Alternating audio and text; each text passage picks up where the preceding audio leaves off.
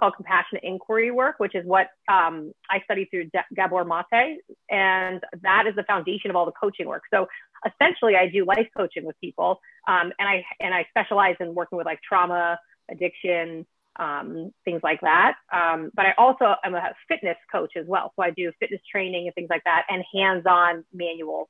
Uh, okay, that's a, work. Oh, we can. I know it's a lot. We can. Well, we can talk about whatever you want to talk about. Uh, yeah. And let's just just begin, and we'll probably just use your what you just said as your intro because that's a that's more than I can remember right now. But uh, welcome to Brett's with Friends, uh, Tristan Saint Germain. Uh, we are on the air. It's happening right now. just uh, awesome. forgive me if I have to ask you a couple times because now the rain's really um, coming in, and it comes. You know, we have a we have a saying in Oregon: if you don't like the weather, wait five minutes because okay, it, it like comes and goes. like um, so um, I originally met you, I do believe, uh, in the Burning Man days, and possibly yeah. Moon Tribe, maybe Moon Tribe. No, I think pre Burning Man, I would say Moon Tribe, Venice Beach, LA. I think where really all started to unwind for me, and I'll explain what I even mean by that was, you know, really at that time, you know, in the in the late '90s, I had arrived to Venice Beach from New York, Vermont. Um, I was young, 21, definitely doing a lot of modeling back then. Um, I was uh, doing competitive snowboarding until I had fractured my back. And that was like my greatest passion. Like I was like gung ho doing it all the time, um, surfing, snowboarding, you know, rollerblading, half pipes, things like that. And then after that injury, that really just kind of changed my perspective on what I was doing. I was like, do I even really care about competition? Like I guess I really don't because I just like to snowboard and I don't actually want to hurt myself. You know, I don't want to not be able to walk. That was really scary because I fractured my iliac crest, which is the upper hip, and I couldn't walk for weeks and I had to take the rest of the year off. And that just, you know, that was humbling. I was like, oh, okay, you know, like I don't really want to break myself. And you have to go big, you know, to to win, right? And I was like, I actually don't care about competition. I was never into sports or competitive anything. So I realized I was like, um, that really wasn't even my drive. And so, you know, at that time, I had landed in LA and I found the whole underground dance culture, right? Like moon tribes and all, all the outdoor gatherings and the whole underground scene. And at the same time was, you know, taking psychedelics and going to these events. And, and at first, like I didn't dance like at all. Like I was frozen, like totally inhibited, just like uh, super self-conscious and, I was fascinated though by what I witnessed because I saw this like freedom in people, the way that they moved and expressed themselves and and and the kindness that was really in that scene. Like it was just nothing I'd ever experienced before. You know, I was like, wow, like these people are so free. Like I just didn't even think I could be that way, but I just wanted to be. I was fat, completely fascinated. Like how bizarre the fashions were. Like people just wore whatever they wanted. Um, everyone was hugging and getting along, and people were just dancing in all kinds of crazy ways. It wasn't like um, there was like, you know, you were a trained dancer. It was just like, it was this freedom I saw in people that like was amazing. And this lack of judgment that I was just completely intrigued by. And through taking psychedelics and kind of being an observer at those first early, you know, events I'd went to, I started to see the inner working of my own um, self consciousness in all these ways. I just super judged myself, you know, and like carried all of this, these belief systems, really limiting beliefs about, you know, myself and like who I am, you know, and how it, what's okay for me, how it's appropriate or okay to move, how it's okay or appropriate to dress and express myself. And I just was witnessing and understanding. I was like, wow, like I have all these layers. Like I really don't want to have these. I feel like I'm in a prison inside my mind, you know, and I started to you know work with the help of particularly MDMA in particular. That was like huge. Just kept opening my heart, and the more I went towards it, and the more I started developing this self acceptance is what it was. And I started to slowly let myself move. I mean, it took a good six months of like kind of standing around and watching and like wanting so bad to be free enough to like feel okay to move, but I was literally frozen, like physically frozen, like in my really in my trauma, but I didn't even know that was a word. Then that still took quite a few years before I knew what that word even meant. Yeah, yeah. Um, but but once I started unwinding, I something happened. You know, it was like it was the most profound magical experience of my life. Like the more I started allowing myself to give myself permission to one, just start to explore and uh, fashion, you know, in a way that was like, what, well, who even am I? How do I want to dress? Like, what do I, what do I, how do I want to adorn myself? You know, like this is my vessel. You know, what feels what feels like me? What even is me? Because i was just kind of stuck in in what culture you know what was popular or, or not popular for that matter. I kind of leaned into the grunge not popular or but which was totally popular. And uh, but i just started kind of breaking out of that and like allowing myself more freedom. And the more freedom and the more movement i started having these like moments on the dance floor that were like transcendental like the most spiritual experience i'd ever had. And i'm and i was never religious. Um, I wasn't even really spiritual. You know, the only thing that was, I guess, spiritual was like my connection to nature. And that's part of why I liked being on the mountain and snowboarding. But even that was like, uh, you know, that's where I was noticing I was finding comfort and peace because I felt like I didn't fit in growing up. I felt very like an alien. I felt like people didn't really see me or understand me. I felt very isolated, even though I had friends. I just felt like they didn't. Most of them, not all of them, but most of them really didn't even know me. You know, and and truthfully, like I don't even know if I knew me. You know, it was like uh, kind of a very isolating experience as a child. And um, so coming into these events and people are just embracing me and, you know, really wanting to, um, and just loving me up. And like the more I was loving myself up, the more that I was, that was reflecting from the outside world, you know, and I was just having this experience. So that started unfolding over time.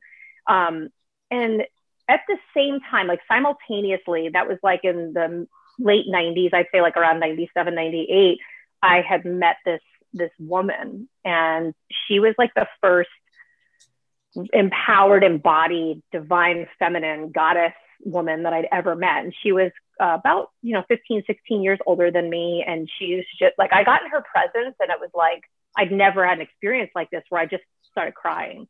Like something about her just opened something up inside of me. And um, she was so compassionate and kind and she was a healer and did body work and stuff and she was deep into psychedelic but in a way that was um, more ceremony, right? Which I had never even heard the concept ceremony or, you know, understood what that meant. But she was doing a lot of work um, in like Stan Grof's method of working with like LSD in isolation, sensory deprivation, um, and as well as like other ceremonial things like working with DMT and ayahuasca and mushrooms and things, but never like out at parties and stuff. For her, it was like this healing ceremonial experience. And so that was like a completely new concept to me.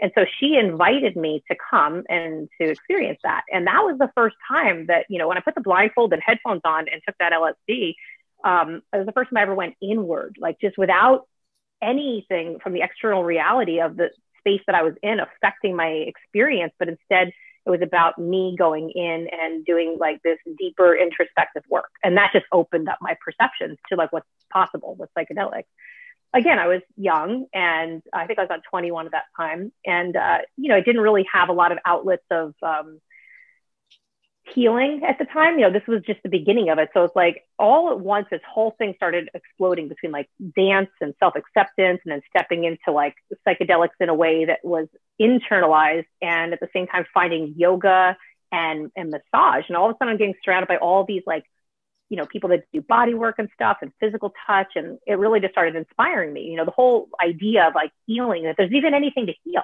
right? Because like when we grow up, I think life is just what it is. And at least for me, you know, in the 70s, 80s, into the early 90s, like we didn't have computers, you know, or, or maybe we had some really basic, but we didn't have internet. You know, there was no access to what's going on in the greater world. There wasn't a lot of the sharing of information. And so, you know, I just whatever I experienced in my life was just how life was. It was what was normal, right? There was no thought about like trauma that like experience that happened to me were traumatizing. Like I wasn't even, you know, there was no conversation about that until I had moved to California and kind of like dropped into this whole scene, you know, and that was like just little by little, like all these internal doors in my perception started opening up and and like kind of unwinding, you know, my myself and starting to notice and becoming more curious about like my beliefs. Uh, why do I think the way that I think? Like, why do I react the way I react? And, um, you know, little by little, that started to just be really inspiring to me. Like, the whole path inward is what really was inspiring because I was like, wow, this is a whole vast, infinite exploration, and it doesn't seem like there's any end. Um, and, you know, simultaneously, like, while all this is happening, you know, I was going through my life experiences and some heartbreaks and just some pretty devastating experiences that uh, put me into like a really like dark place, you could say. Like I really went through the dark night of the soul, and I went through like a good, probably solid nine, ten months of hardcore drug use, and the guy just. What kind of drugs were those? The the, the uh, hardcore. Mostly crack cocaine. Oh wow! But I but I also would do like smoke heroin to come down. Um, you know, sometimes, and this, you know. Was this, was this i'm sorry to interject uh, but it's uh-huh. uh, i'm curious was that before or after the mdma mushroom experiences and stuff like that which one that was actually at, well interestingly enough it's the first drug i ever tried when i was 16 15 in new york um, growing up someone put it in my cigarette i didn't even know what it was and i the second i tried it it was this like majorly euphoric experience and it instantly got its hooks in me but I didn't have access to it. I didn't even know what it was until like a year later. But like every once in a while, this older friend would come around and like, you know, put it in my cigarette. And then when I figured out what it was, I was like kind of embarrassed. I was like, I know you're not supposed to do that, you know? Like snorting cocaine lines was like common, you know, that was like acceptable on the East Coast at that time. And I didn't do that, you know, that much, but if it was around, I was going to do it, you know? It just seemed like um, a thing that people did. I really didn't know.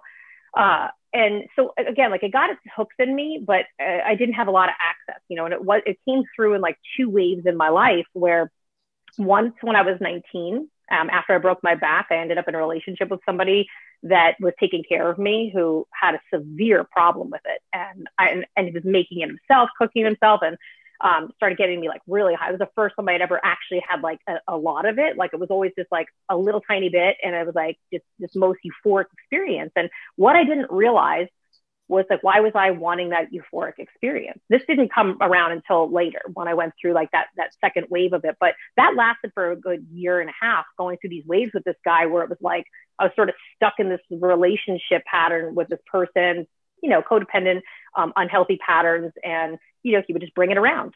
And I'd be like, please don't bring that anymore. And then he'd be like, okay. And then like a month later, he'd bring it around again. And so it's like, not like it was all the time I was a functioning addict, but I was definitely addicted. Like if it was there, there was no saying no. I had no self control. It was like it ran me.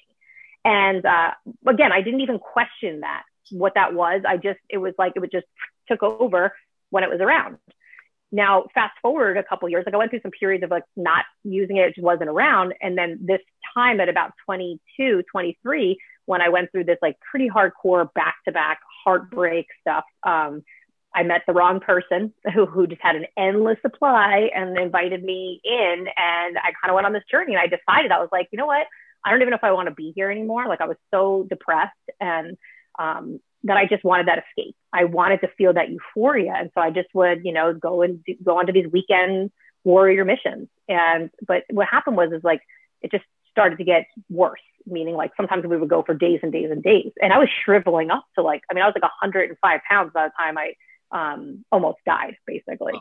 And so that's pretty much what happened. That and you know, I, I I was like noticing. I was like, I need to stop doing this, and I can't. Like, I found myself in like kind of the bowels of my own hell, like where I was like, I don't actually know how to stop. I'm not in the driver's seat. Like I really don't know how to. And, and, but I wasn't making any effort yet. And it wasn't until I had gone on, you know, I was on a long five days or maybe six days bender with these people that I was hanging out with. And, and again, like at that, at this point, that's when we were like, you know, smoking crack. And then like we would do heroin to come down and it was a whole fucking thing. Were you shooting and, the heroin? Were you shooting it? No, no, just smoking it.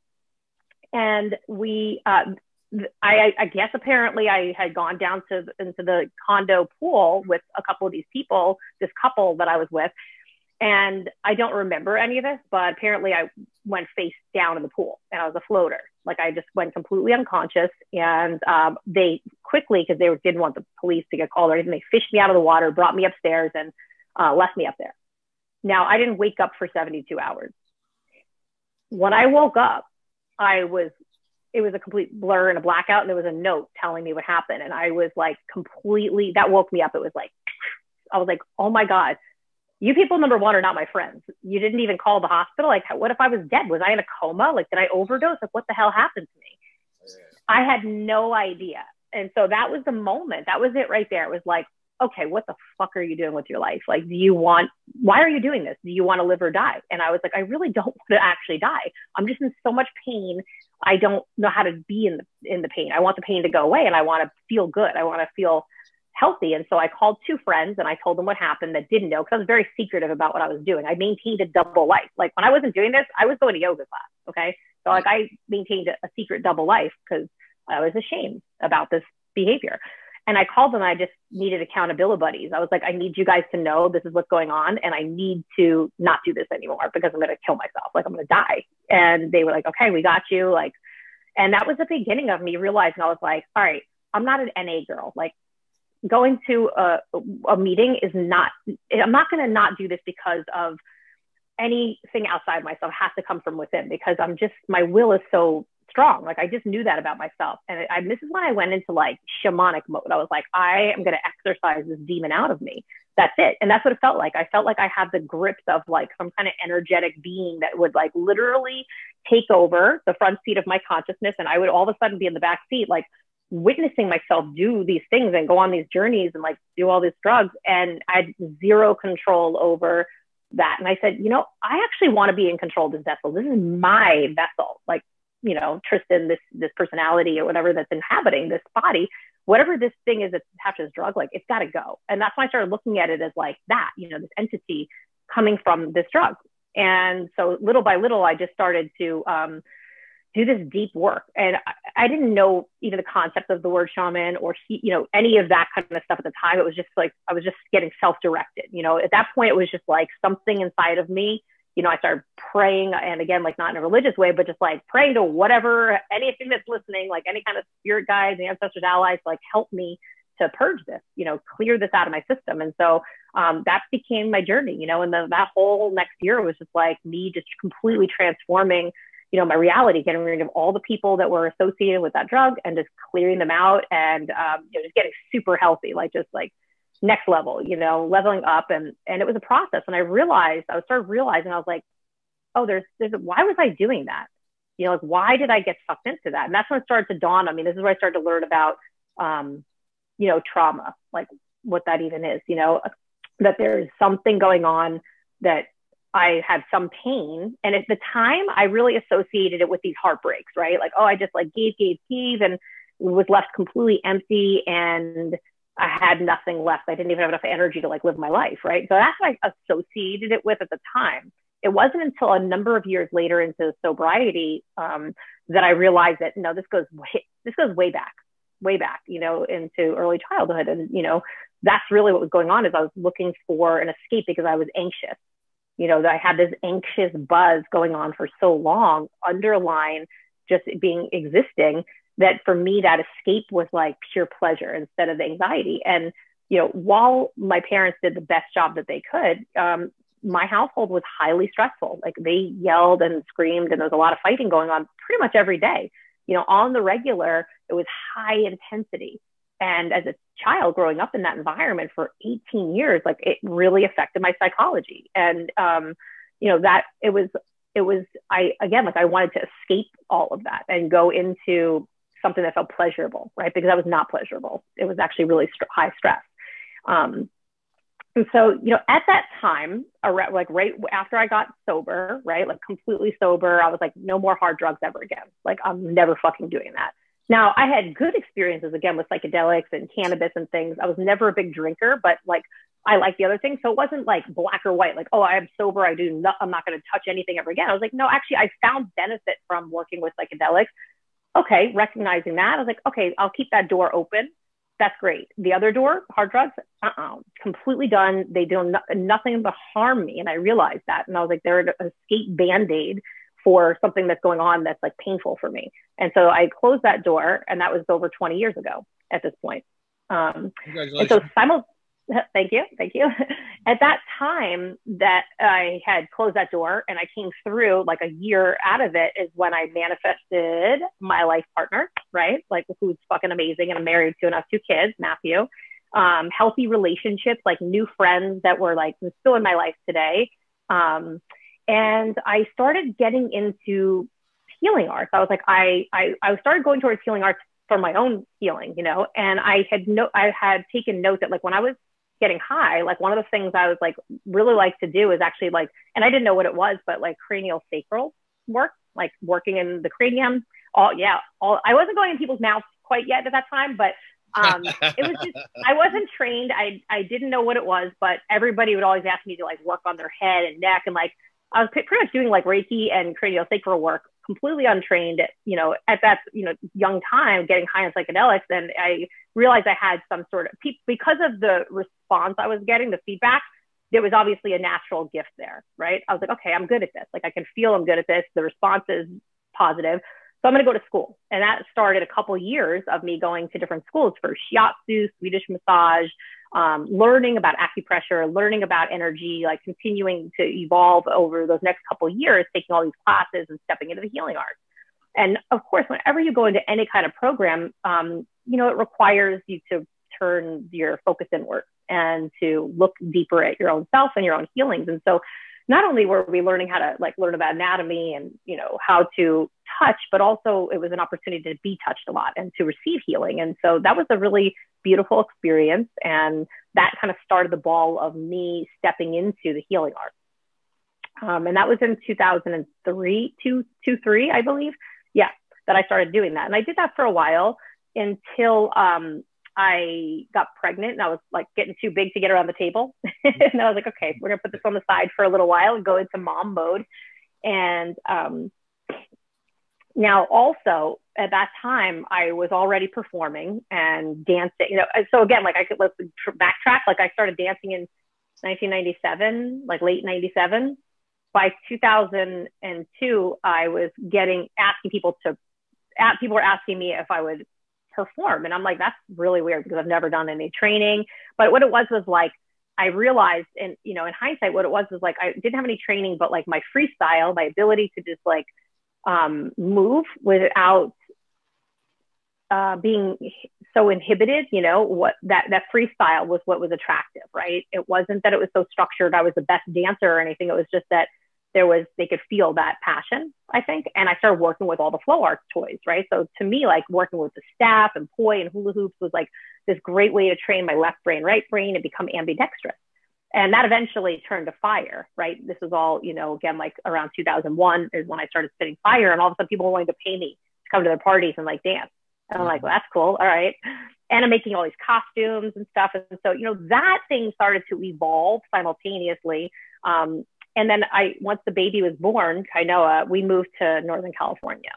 And, um, you know, I spent the next couple years, next five years, like living off the grid and just, you know, being like out in the woods and had another child and was doing all that. And I wasn't doing body work. Um, but I was the front seat, um, all the performance stuff took the front seat. And it was like an amazing troupe of women and men that I got involved with dancing and performing up based out of Northern California and we were you know performing at festivals and stuff and that was amazing. And as well um, i got invited to become part of like a well actually to come to indonesia and do fashion because i was already hand making a lot of costumes. And so i ended up taking off to indonesia starting a clothing line and like that went on for you know almost a decade right?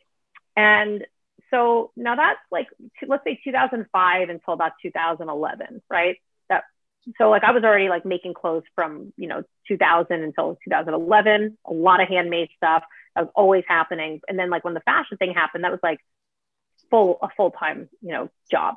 And around 2011 um, is when ayahuasca started coming into my life. Okay. And that was a, a mutual, a, yeah, mutual, a friend of mine who I danced with professionally, like we did shows and stuff like that down in Los Angeles, had found her way into the jungle and um, helped to open up a center, healing center down in Peru with her partner. And it was, um, you know, run by Shipibo and Shipibo healers, um, uh, mostly female, female to male ratio.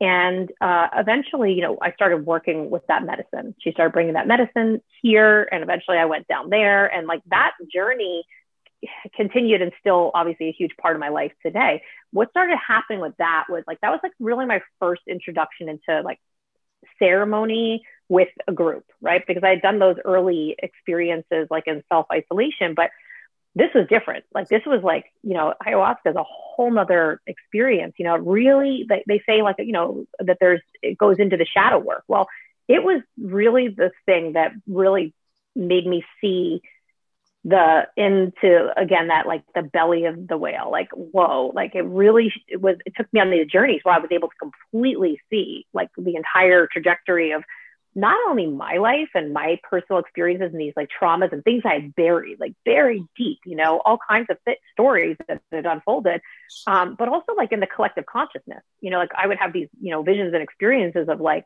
the most horrific atrocities that have happened to human beings on this planet. And it was like I'm like I was like a vessel for all this like stuff to just like pour through. And um, that's when I really started understanding what trauma was. And on a physical level, like I was literally physically like purging and clearing out all of these energies. And after I would clear them out, the medicine would fill me up with light and also all this beautiful wisdom. So it's like not like it was just like going into this hard, dark stuff, but also like receiving a lot of beautiful insight. And so, you know, really diving deep into these like belief systems and like seeing even more and more layers. And um, what what started unfolding for me was like my work started becoming feeling kind of empty. And this is about like a decade ago from now, eight years or something.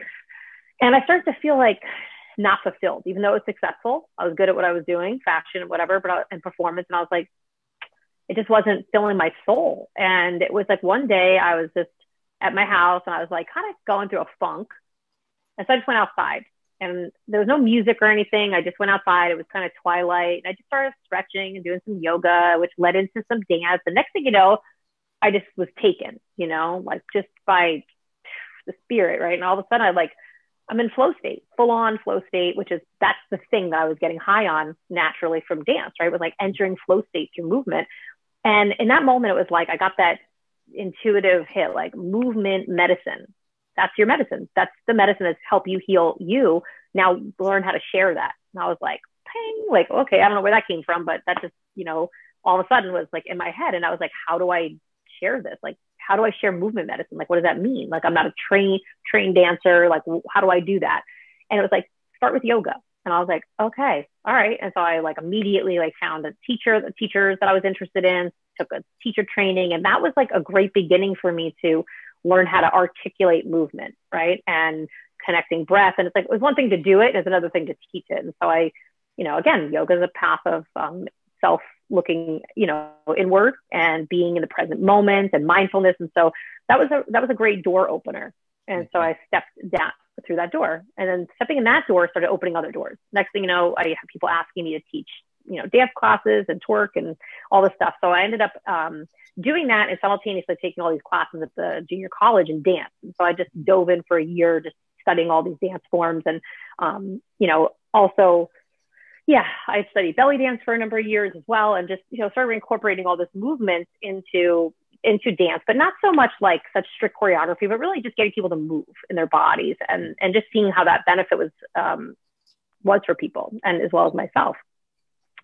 Um, and so I did that, you know, simultaneously for a number of years, like teaching that um, yoga and dance stuff. And then um, always, so through this whole thing since I was like 16, I've always worked out. Like I've always been a, a gym goer, someone that's always done fitness stuff. Yeah. And, uh, you know, I trained people like that wanted to tra- show up and do the work, like just what I know. I wasn't like professional, but at that point I was like, I think I'm going to get my, my personal training licensing too. Right. And so it's just like one thing after the other, right? Next thing you know, I go and do training through the National Academy of Sports Medicine, become a trainer, um, excel to master trainer. I'm training people now. I'm like really understanding more about fitness. Um, I went and got a behavior change specialization, like learning how to um, become a health and wellness coach. Um, you know, now I'm like it's just expanding and expanding, and I'm realizing like I really like doing multiple things. Like I enjoy not doing the same exact thing every day. I like t- teaching a class here and teaching, you know, uh, dance or doing yoga or whatever. Um, so through the fitness thing, interestingly enough, this is where the body work comes back in full circle from 2005. Now, it's not that I didn't give a massage here and there to like say my husband or whoever, but it was like all of a sudden I'm like working with clients and and it's it's natural sometimes to do a little bit of hands-on work, right? And so I'm in the gym setting and I'm like doing hands-on work and now some of the trainers I work with and some of them are like competitive bodybuilders and stuff are like give me some work, come on, you know, and we're, I now I'm working on them. And I'm like, again, this feedback is like, you're really good at this. why not just like, incorporate this too? I was like, yeah, I like really like doing body work. And I was like, it feels good and seems to be helping other people. Um, and so I slowly just started like, oh, okay, maybe I'll get this engine going again. And, um, you know, one thing led to another. Next thing you know, like I'm back in the game, like back in body work and doing that. Um, You've been around the yeah. world a few times inside. Oh, a few, exactly. That's a like um just um you remember the you remember you know Eckhart Tolle right?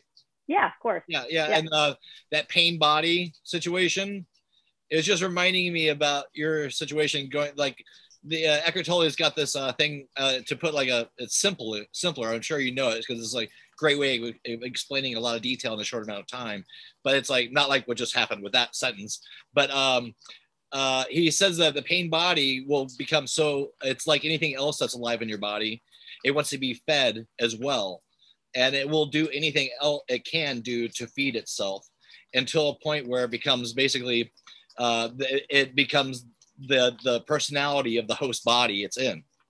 Now, some of us are going, to, are to do really fine just as psychonauts going out and just having our own experience. Like, I, I really think the most important thing is like number one, set and setting and intent, intention. Because I, I got, I, I, definitely went through the ringer one of the times I had taken mushrooms, just like used to do. I was young and I just like ate some because everybody was eating them. And next thing you know, I was like, blasted wide open. I, I couldn't even be around people. I had to go like hide under the covers in the bed. And it was very clear. The mushrooms are like, you had no intention. You didn't set the stage. Like now they just took me on this wild journey. It was like, it wasn't comfortable. It was very uncomfortable. I didn't like it. It was again like a bad trip, which was a good thing because I got to learn something. And what I learned from that experience was like, it's really important for me to have some clear intention, you know, with the medicine and respect, respect the medicine have respect and set a nice container that feels safe. You know, like where I am and who I'm around is 100% important to how my experience is going to unfold. Um, so what's happened to me over the years is I've just become more and more sensitive, you know, like it doesn't take very much to like pop the doors open, so to speak. Where back, you know, when I was really young, it was like I could just like keep taking substances and whatever. And it was like, woo, it's like now it's like I just, I need to look at it and I'm like, whew, you know, yeah. like microdosing just, just holding a mushroom, you get high. Oh, totally. Yeah. Yeah. Um, yeah.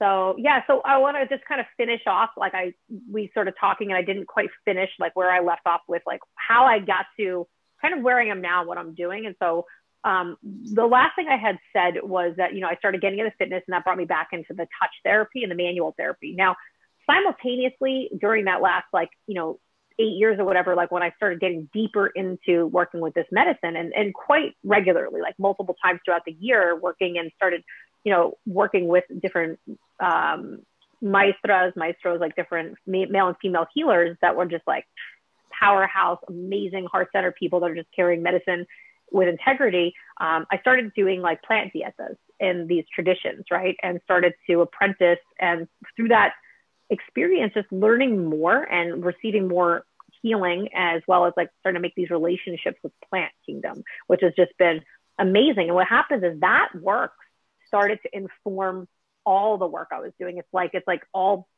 started informing my entire reality right mm-hmm. in a new way. And so um, just becoming more sensitive to energies more sensitive and just learning how more and more to just get out of the way. And it's still something i'm working on you know but like for me when i step into a situation you know where i'm going to be doing any kind of hands-on work with people, I, I always make a prayer to that I can be a good, clear channel, a good, clear, hollow bone for the medicine to move through, right? And so, like all the, the allies and teachers and energetic, you know, beings, all that intelligence from myself and the person I'm working with in our field to come through, right? And so the more I can get my ego and self out of the way, and again, it's not easy for me. Like I'm, I get really attached to like being me, but yeah. the more when I slip into that space and I can get out of the way, then it's like I just let, like I have the tools already in my brain. It's like I know how to drive the car, I know how to do all the work, like the touch therapy. I understand all that. So the more I get out of the way and allow like spirit to move me, then I can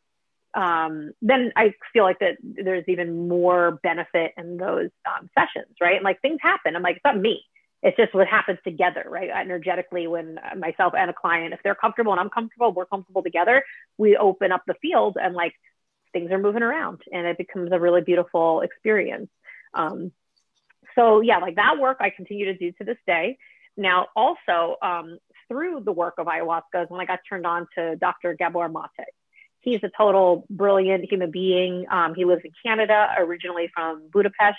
Um, he he's been working deeply with the medicine, with the boga and um, ayahuasca, and specializes with addiction. He was a palliative care doctor, a family physician for 50 years, and then he worked with the uh, in Vancouver um, at the at a clinic there um, in like the hardest, most drug populated area.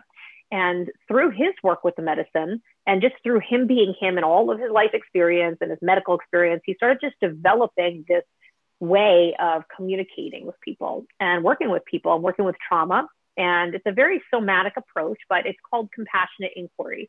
And um, I started reading his books and getting really turned on to his work and listening to his lectures. And, um, you know, and I was really feeling the call. I was like, I'm, I really feel like I want to step into like coaching work or therapy or something. And I was like, well, man, I really didn't do a whole lot of college. I just did a little dabbling, um, and including even a course in psychology. But I was like, that's a long journey, right, to become a licensed therapist. So I was like, okay, well, in the short term, maybe I can like do coaching work, right? Because that's a, a, shorter term um, academic, you know, uh, program, and then I can work on the long term.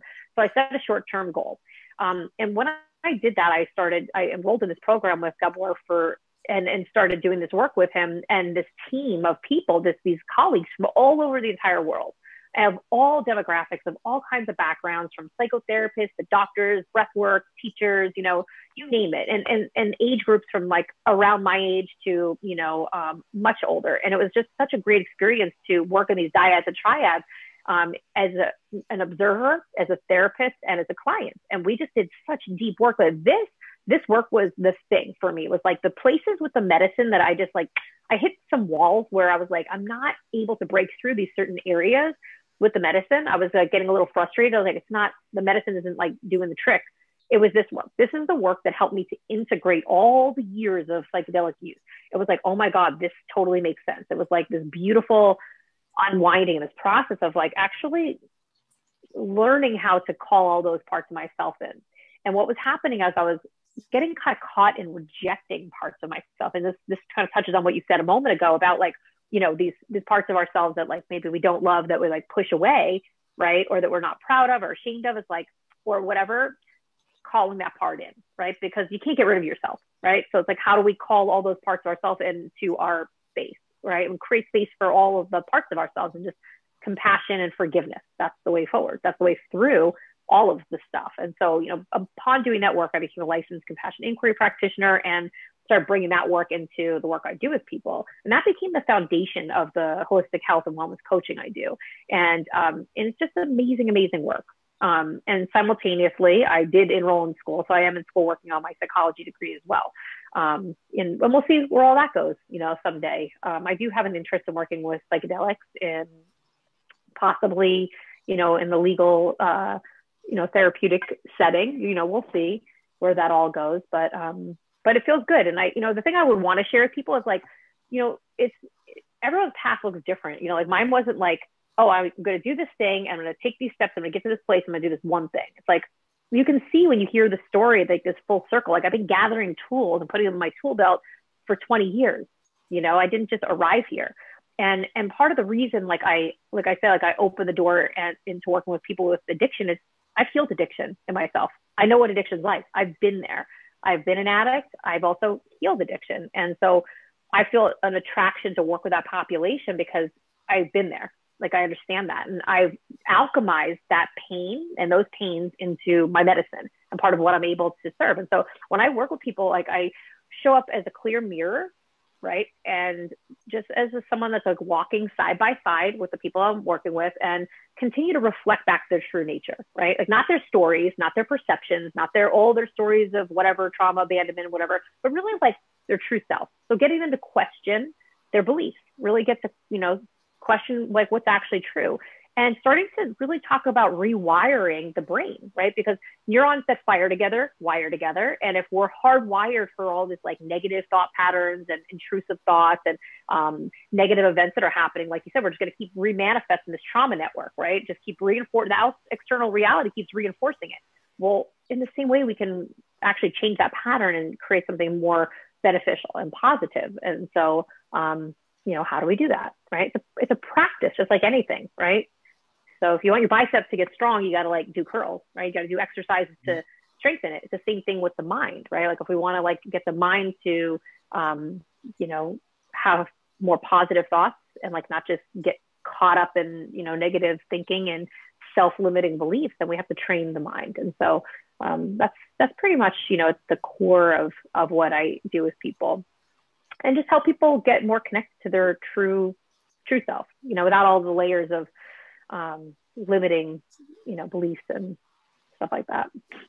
Yeah, that's uh, getting rid of that ego is the biggest part. That's uh, the one that seems uh, I found that people have the most trouble in doing is getting that that ego, get rid of that. I don't really actually look at it like that. So. I really, so again, that's like a rejection. I feel like that approach, like I'm not, because you need to be here to function, right? So it's like, how do we integrate the ego, right? Like like you, the ego, what is the ego? What even is that? Right? It's like the personality, right? Like what's beyond the ego is just a, a field of awareness, right? Like at our true, true core is a field of awareness, right? But we have to identify in life, like you have to be Brett to function and do your Brett with Friends show here, right? So it's like, but also like, I think that it is an interesting dance and a balance of like not, you know, like being attached to that, right? But yeah. like allowing there to be space for, um, you know, observing that aspect of our beingness without um, rejecting it again. You know, so like I've moved away from the theories of of rejecting. You know, like yeah, even even this experience. You know, like of humaning. You know, like I I remember like at some point being like, I just want to send out of this whole reality. It's like now, I'm like now I'm here. Like it's cool. Like I'm not trying to escape anything. I'm like I'm I'm here. I'm embodied. I'm in the present moment. Life weird as can be. It's a total mystery. I actually don't have the answers, but I'm totally excited to explore. You know all the possibilities, and um, so yeah, it's it's interesting. Yeah. Well, um, I was going to ask you when you're on any of your like. I had a. Have you ever did any uh, encounters with any um, um, multidimensional life being uh, for uh, beings? Uh, oh yeah. Uh, that uh, have you ever seen? It's kind of it's kind of a funny looking thing, but it's like um this one eyeball looking creature with a uh, legs and uh, like uh, hinges. It's um it's a multidimensional creature. I'm trying to describe because it, okay. it, was very, very unusual.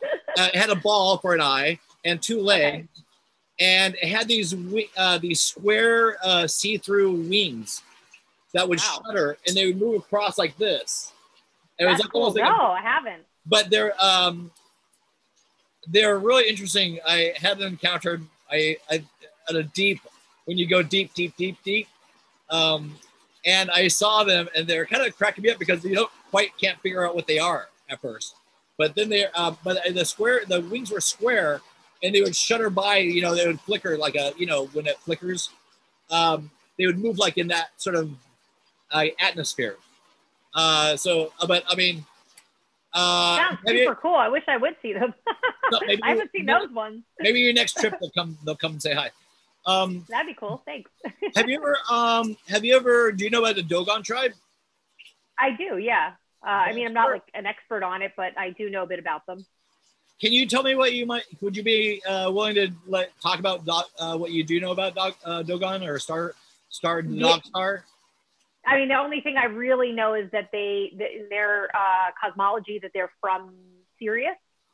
Um, yeah. I'm not sure if it's A or B, but they're from that star system. That's their lineage is from there. I don't actually really know like a lot any details about you know what their history is or how they actually supposedly got here. Yeah, I think it's. I've had a couple different experiences with Dogon tribes. Uh, with, okay. on psychedelics, but in a dream state where uh-huh. I had a anyways, maybe that's for a different thing. But uh, the Dogon tribes are uh, very, very tall. uh, uh, very very dark skinned, uh, black skinned, uh, very very, um, and they're part of the Ascension. From what I know about um, the Mayan Ascension and uh, the Maori. Uh, there's a near the Maoris are part of that group that they, you know, it's a multidimensional. Uh, I think that we're living in multidimensional realities, really. I agree but with that. Yeah. That I'm saying that's that so far that's been my experience. yeah. Yeah. So, um, what do you have coming up that you want to talk about real quick in these next last minutes, and then, you know, um, maybe tell people how they can get a hold of you or find you for for work or uh, or Instagram, face Instagram. I don't know, whatever the. There's so many platforms right now. Yeah. So okay, so what I have brewing is um, I've actually I wrote a manual this year, um, which is going to be available coming up soon, and it's a self inquiry manual. So it's um, going to be something that you can order and actually like just do this deep dive. And it's got, it's like pretty much like a, a coaching manual that I developed for people to do on their own. Um, and with it comes a lot of practices of like meditation, breath work, uh, ritual, um, and all kinds of other stuff. So that's coming soon. That'll be available through um, my website. Um, currently, you know, I'm seeing clients uh, via Zoom conferences um, and depending on like whatever same place orders are happening or not in, in my area and i'm in sonoma county california um, i have an in-person um, venue the healing sanctuary it's called and that's in downtown santa rosa so i do see clients there um, I can be most best is just to follow my Instagram, which is my name, Tristan Saint Germain. That's a great way to connect with me. Um, I don't really do the Facebook thing as much, so Instagram is definitely great. Um, and I just try to, you know, share stuff here and there regularly. Um, also, it, my website, I did not launch um, like my personal one yet, but I, I'm on one through the Compassionate Inquiry um, organization. I'm one of the few practitioners in this in the states, um, in California in particular, and so I have a whole my whole I have a whole web page with them. So that's just what I I have that on my Instagram. So I have a link tree. When you go to my Instagram in my bio, all my connect stuff is through there. What's so your you Instagram page? Did you tell them? It's my name? name. Have you ever thought about doing a podcast? Uh, actually, I was going to start one, um, and then I got coronavirus back in July, oh, and I got sick. Yeah, that happened. And I was like isolated and sick for like, you know, almost two weeks. And um, that was a whole journey. And, you know, during that time is when I actually wrote the manual, which is really interesting. Like I was like, you know, once I was, the first four days sucked. Like I couldn't move and I was in a lot of pain, but I did IV therapy. So I got like IV injections of like all kinds of vitamins and minerals and that like brought me back to life. That was amazing. Um, if you can find a naturopathic doctor to help you do that, that's really great. Um, that's a big um, deal. And then you got over coronavirus. Yeah, totally. I mean, I think if you're a healthy person, right, and you're not, you know, the thing is, is like if you have like lack of vitamin D in your system or you're carrying a lot of extra weight, these things, or you have autoimmunes, like these things are going to make it harder to heal for a lot of people. Um, I'm a really healthy person. So, you know, I was surprised I got it. I was like the first one of everybody I know, but I, and I did get sick and I also got better. I was like, hmm, okay. Um, it, you know, for me, it wasn't that big of a deal. It was like getting a really bad flu. Uh, now I know that I'm not saying that's that I'm not trying to downplay it by saying that. I'm just telling you my experience, you know. And again, like I'm a healthy person. I know it's not the case for everybody. There's healthy people that are getting very sick. Um, but I also went like hardcore arsenal naturopathic remedy. Like I said, day two, I went and got IV for two hours. I sat there getting my my blood pumped with glutathione, high doses of vitamin C, D3, magnesium. I mean, you name it. It was the whole Myers cocktail, right? And then I was using a nebulizer, which is a basically a, a device to transport um, mist or whatever liquid medicine you can put in it into your lungs. I did that twice a day with glutathione. Glutathione is naturally occurring in your uh, lungs and your liver, and it's an antioxidant. It's like the mother of all antioxidants it helped me to clear out my lungs because I was getting a lot of that lung congestion that comes with the coronavirus. And so um, I feel like I took steps and approaches that if I hadn't, I can't say what would have happened for me. And I just actually wish that these kind of remedies were more available to people. Um, you know, like here's the thing is like if your digestive system isn't functioning optimally and you're not uptaking nutrients, putting vitamins directly in your blood system just floods your body immediately. That's the benefit of that right? Not everybody's digestive system is, is running smooth. So you can eat all the vitamins you want. How much are you actually absorbing, right? so um, you know, for me, that was really good. Like I said, I went from full headache, lethargy, body pain to feeling like, oh, actually, I feel okay. Like I still had a nasty cough, but like all that pain went away within an hour of the IV index, uh, therapy. Now the problem is, I mean, this lady that I work with, this doctor, set me up an outdoor clinic, not inside, um, completely separate from anywhere else, um, anybody else. And um, you know, I think the thing is, is that that's going to be hard to find because unless a, per, a doctor or a naturopathic doctor has a a clinic for coronavirus patients, then they will not work with you. So that's the challenge with that. It's like it's like oh, it's like we that'd be really great if we could use that and help people with that. Um, however, the lack of availability um, is a problem for people. So, a uh, vaccine or vaccine or no vaccine? Will you take the vaccine? Yeah, the coronavirus. Well, coronavirus. At the moment, vaccine? Not right now because I have the antibodies, right? I, I yeah. have pretty much the same as the vaccine at the moment. So I'm as good as a vaccine. Like I got the sickness, I built the antibodies, I fought it. So I currently have the antibodies. Now, like with both of those vaccines, you're getting, uh, you're building the antibodies to the virus. Now, we don't know how long those vaccines are going to last, and we don't know how long my antibodies are going to last, but I guarantee they're right around the same time frame. Um, we'll see. I'm not saying like I'm not, I want the vaccine to be out for a while. I'm not rushing to go take any vaccines that have not been out for a couple years so we can watch, you know, what happens with them. I'm not against the vaccines, but I'm also not like rushing to go get one because again, yeah.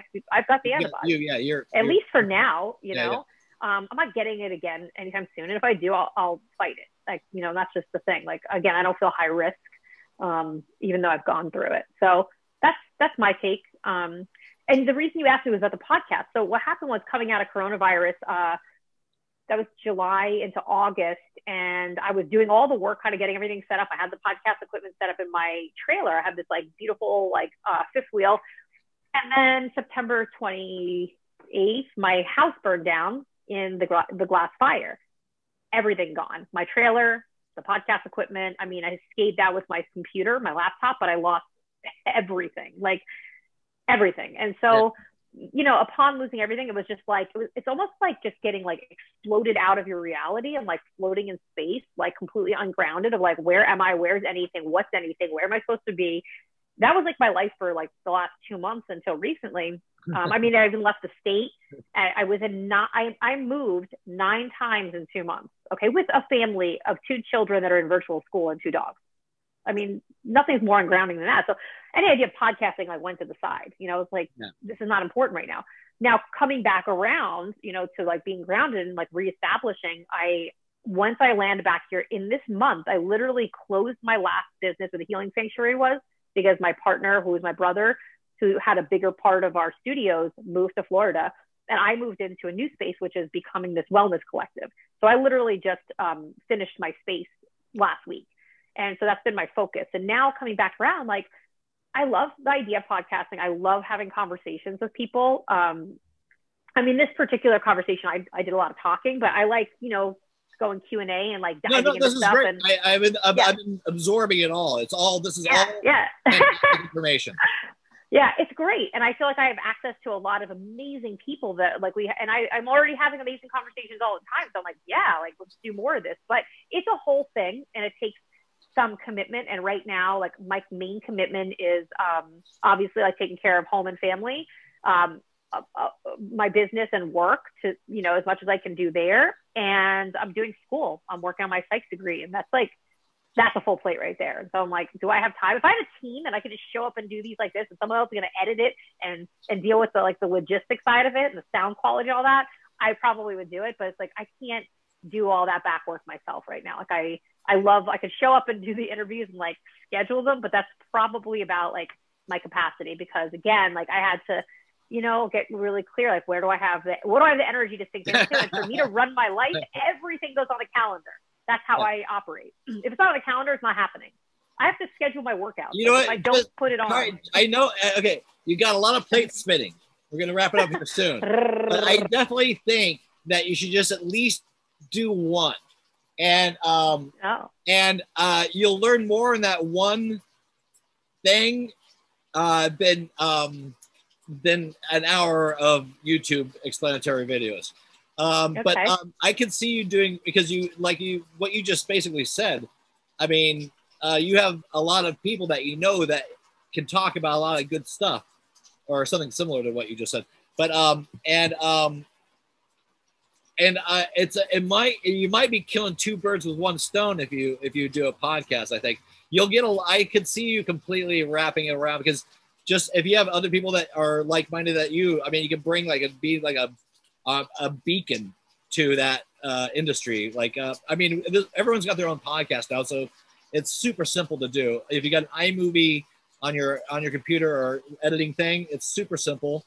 But it's about the conversation. I mean, I sometimes joke that I did this because uh, I have the time. I want to do it for a few years, but now we all have time. But I wasn't being social, and I and so this is I made this podcast so I could talk to my friends. And I, like, I love it. when I was thinking about it, I was like, "Brett's with friends, Brett's with friends." I was like, "Wait, but who am I, who could I possibly invite on this show?" And I was like, "Everybody." I was like, "I know, I know, I know so many talented, creative people like yourself that have all these things, and uh, this it becomes very addicting. This podcast because I, you know, every it's very addicting. this podcast because you want like you're my 24th um, guest on Brett's awesome. with Friends. And Very cool. That's all happened in about the course of two months. Oh wow! So you're you're recording a lot.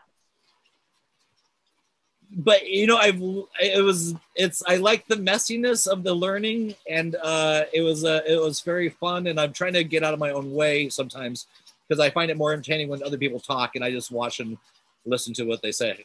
Um, okay. are you? Where are you putting this out there? By the way. Like, uh, YouTube. Um, okay.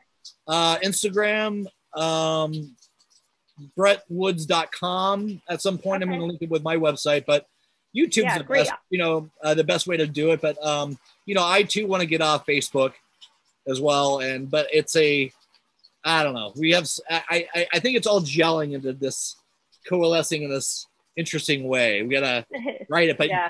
I swear you should do one. I, I bet you do real have a lot of fun.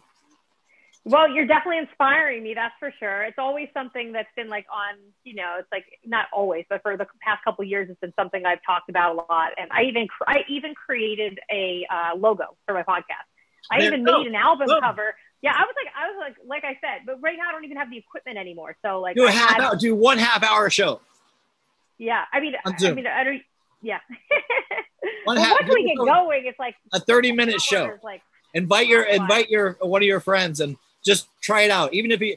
But you'll love it. I mean, it's very funny, especially if you put your logo on there.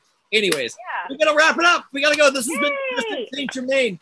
Thank you. Thank you. Thank you, Brett. Thank you, let's, Brett and friends. Try. Let's uh, try to do this again in the future. And uh, yeah, happy New sure. Year. I think you might be my my last guest of the year. Whoop, whoop. Awesome. Whoop. Well, goodbye, 2020. Fuck off. So ready for 2021. yeah. All right. See great. you. Well, thank you so much. Really good to talk to you. That was great. I had so much fun. I really enjoyed the heck out of that thing. Let's I learned talk more about like multidimensional beings and aliens next time. We'll do a part two. We'll do a part two. There's a whole Dogon okay. tribe thing happening. Okay. Be well. Right. I'll talk to you soon. Tell everybody love to your family. Be well. Okay. Take care. You too. Bye-bye. Bye. Okay, that was Tristan St. Germain. Check her out. Pensfly hat. Yes, I'm still peddling these damn things. I got hats to sell. Pensflyhat.com. Anyways, my name is Brett Woods. Go check out my website, brettwoods.com. That was Tristan St. Germain. That was a very great conversation. Cheers. Here's the 2021.